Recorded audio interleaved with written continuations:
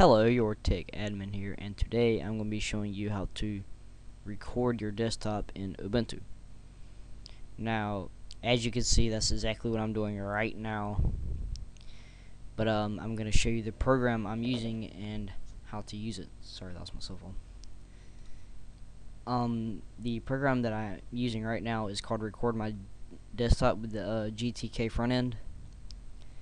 And I recommend this one because it works the best for me, and from what I heard, it works the best for a lot of people. So I'm uh, it's in the repositories. Just um, search for it in the synaptic, or I don't really know how to say that word. Syn, syn, app, synaptic package manager, whatever.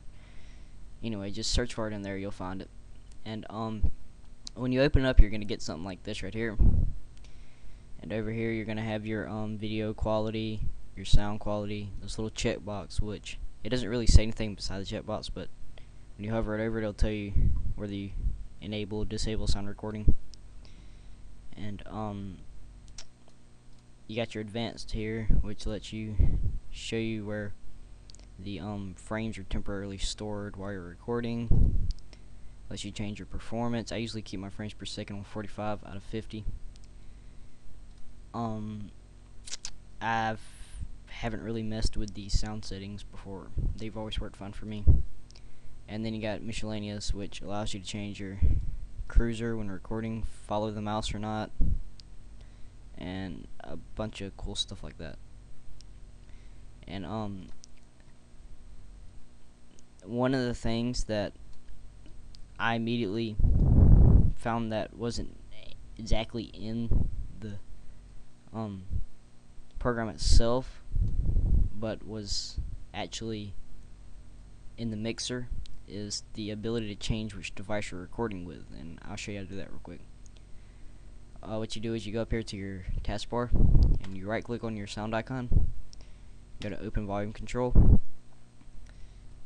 and right here in your mixer you'll have um, a couple of things here. And right here you'll have um, down at the bottom you'll have this little picture of a microphone.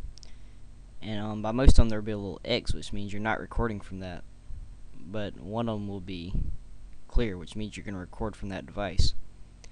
Now if you want to record from um, your speakers like record your speaker output you can check this one here. But I usually just record from microphone because, you know, that's just what I do. Anyway, so that's how you change that. And over here, I mean not over here, but over here, this is where you select your recordings window. You just make a bar, a square or rectangle or whatever you want to make and um, if you just want to completely record a window, you'll come down to your select window, and it'll give you this little cross, and you just pick your window, and it, it'll record it. See, it automatically just perfectly record it. So that's how that works, and everything else is pretty much obvious. You can start it and stop it from your taskbar. See, right here. You got your record symbol. This is the one I'm recording from right now. That's the one that's I was showing you and you just press record stop pretty simple everything works pretty straightforward and happy recording. I know I I'm happy recording. Well anyway that's it for now. Comment trading subscriptions all that are always welcome and make me happy. Well um anyway I'll see you next time guys or talk to you next time. Bye